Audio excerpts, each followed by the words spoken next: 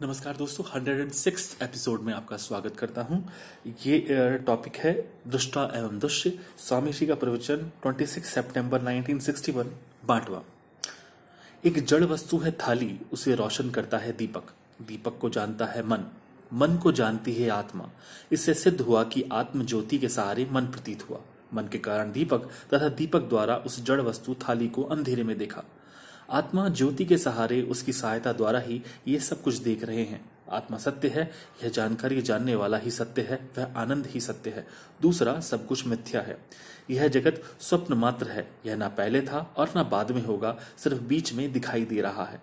यह ऐसे है जैसे दर्पण में कमल के फूल का लालपन दिखाई देता है। जो लालपन वास्तव में फूल का है, वैसे ही यह जो कुछ दिखाई देता है, वह भी तुम्हारी ज्योति की ही झलक है, आभास मात्र है। शब्द स्पर्श रूप, रस व गंध को जानने वाली आत्मा सत्य है। वह कभी भी नष्ट नहीं होती। सब में आकाश की भांति व्यापक है। सबका आधार है।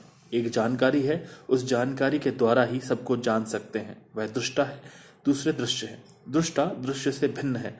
जो सत्य व्यापक एक है, वही नूर है, वही आत्मा है। ज्ञानवान उसे कहा जाए, जिसमें सतोगुण स्वभाव है, देवी संपदा गुण है। किसी को भी तब तक ज्ञानवान नहीं समझना चाहिए, जब तक उसमें ये गुण ना आए। धन्यवाद।